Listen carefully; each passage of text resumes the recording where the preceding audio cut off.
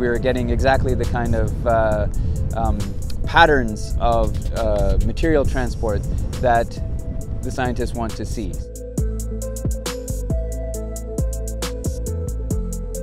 So it's a very good analog for uh, Mars exploration and learning how to drive Mars rovers and do Mars science um, by testing it out here. Iceland is unique uh, for a couple reasons. The, the main reason that we come here is because of the mineralogy.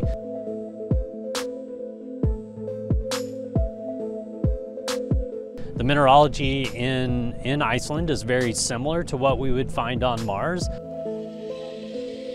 Scientifically, we chose this site because we're interested in how the sand and rocks uh, change, both their chemistry and their physical properties as they move from a glacial source, which is upstream of this riverbed that we're standing in, and as they move from the glacier into the river and then ultimately get transported by wind.